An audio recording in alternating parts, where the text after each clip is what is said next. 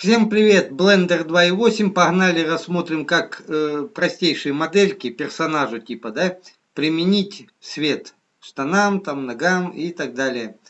Закрываем вот эту окошку, нажимаем файл, нажимаем импорт, пардон, нажимаем open. У меня формат оказывается блендеровский, так что импортировать не надо. И открываем персонажа. Вот такого на скорую руку я тут сварганил. Красавец, орел. Так, ну и давайте его теперь мал-мал так раскрасим, чтобы божески красивее выглядел еще больше. Э, открываем шейдинг и ждем. Сейчас он у меня чуть-чуть потупит и немножко все это дело подгрузит и будет лайк. Колесико приближает, отдаляет модель. Shift зажатый, колесико зажатое двигает модель. И зажатое колесико перекручивает модель. Так, вот такое окошко здесь высвечивается. Здесь будем менять э, цвет. Тут три панели. Вот это нам пока не нужна. Мы ее можем вот так вот отключить. Здесь вот есть точка такая. Вот она Base Color прикреплена. Ее можно отключить, откинуть и все. Так, выделяем вот любой саптул и нажимаем, допустим, ну, новое, новый материал. Здесь можно его переименовать. Допустим, пишем рука. Рука. И жмем Enter. Все, назначили, как ее называют, и жмем вот сюда вот. Получаем, давайте синий цвет. И вот такой вопрос. У нас тут две руки, да? Если сейчас цвет выбирать, может быть он не попадет опять под этот жетон. Что делать? Нажимаем левая кнопка мыши, снимаем выделение первой крашеной руки и нажимаем на вторую. Опять же отключаем всю эту штукенцию, которая высвечивается. Зажимаем Shift и левая кнопка мыши нажимаем на руку окрашенную. Следом нажимаем Ctrl-L и заходим в материалы. Нажимаем материал, присваиваем такой же цвет этой руке. Э, следом опять жмем на Subtool, на полигруппу или Subtool, как Subtool, наверное. И нажимаем опять новый. Опять можно переименовать. Опять это нам пока не понадобится. Отключаем и включаем опять же Color. Вот так вот. Можно опять же этот э, цвет с руки также назначить именно вот этой части через Ctrl-L. Что еще тут есть? Есть две ноги. Выделяем, опять же новый. И отделяем опять вот эту вот всю штукенцию. Назначаем, пусть штаны будут зеленые. Вот так. И опять же снимаем выделение, включаем некрашенную ногу, некрашенный саптул Зажимаем Shift и левая кнопка мыши на крашенной ноге нажимает. Следом нажимаем Ctrl-L и жмем опять же материал. То же самое проделаем с ботинками. Э, нажимаем на ботинок, жмем новый материал и вот так все это дело пока опять отключаем. Она у меня здесь вот висит. Это для других дел великих. И нажимаем опять же на вот эту вот площади Base Color и выбираем цвет. Ну пусть будет желтый. А вот здесь вот шкала сбоку, она дает тон. Темнее, светлее. Ее тоже можно водить. Так что не забывайте. Здесь все настройки есть. Их потом тоже рассмотрим. Здесь интенсивность. Потом перевести надо именно отключить. Сейчас я отключу файл. Преференции.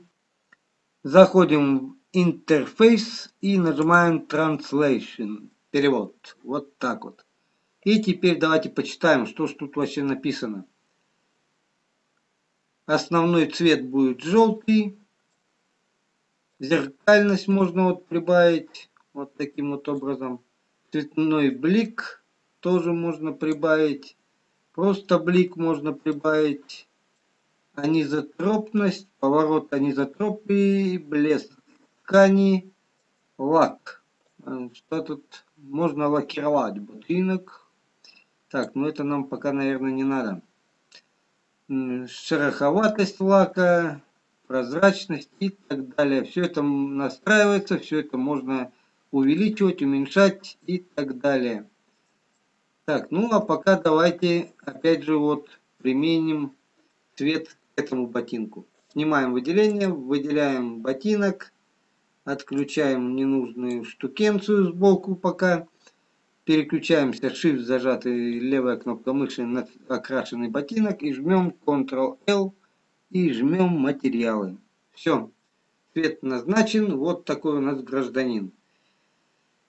Что еще здесь можно сделать? Здесь можно именно поменять фон.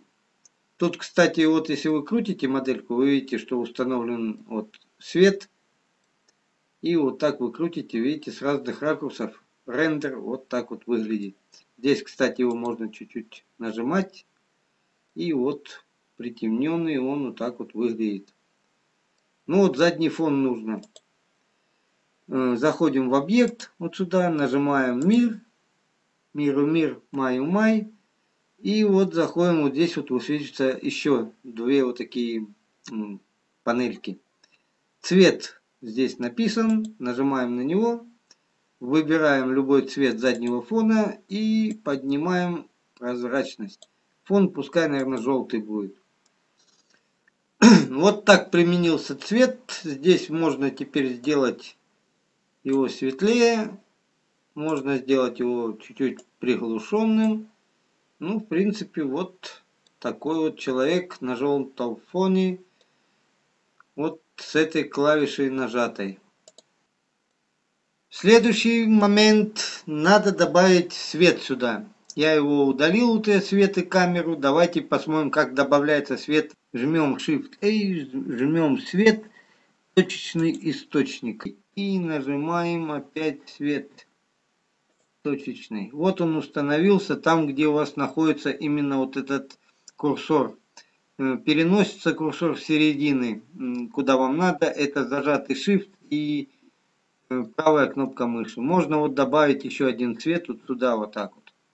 Добавляем Shift-A и опять же цвет и точечный источник. Там можно прожектор выставлять и чего только нельзя.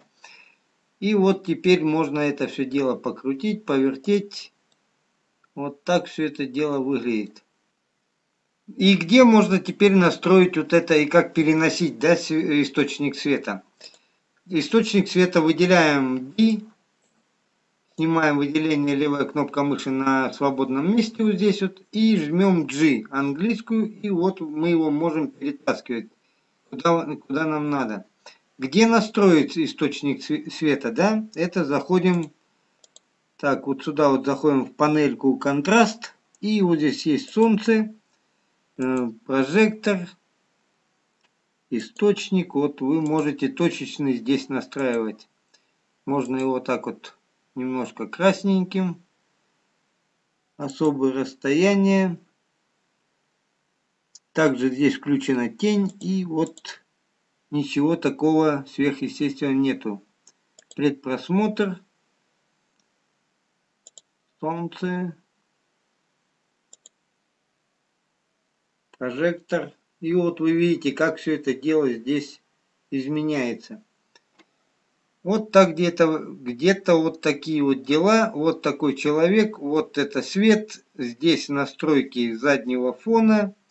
Цвет. И здесь вот объект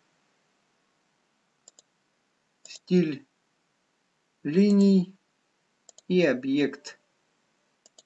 Нажимаем на модель, жмем объект, появляются все наши причиндалы, вот эти все рамки. Э, так, Кристейн Берли, объем, смещение и нажимаем на свет, исчезают эти рамки и жмем мир. Появляются другие рамки. Вот где-то так вот раскрасили, посмотрели, вот такой вот принцип, наипростейший. Дальше будем усложнять, персонажей будем делать и будем все это потом в совокупности применять. Уже сначала разберем подетально что да как, кусочки, а потом эти кусочки при, уже в пазл сложим и будет реакция нормальная, думаю. Все, по, пока, до свидания. Лайк, дизлайк, как обычно.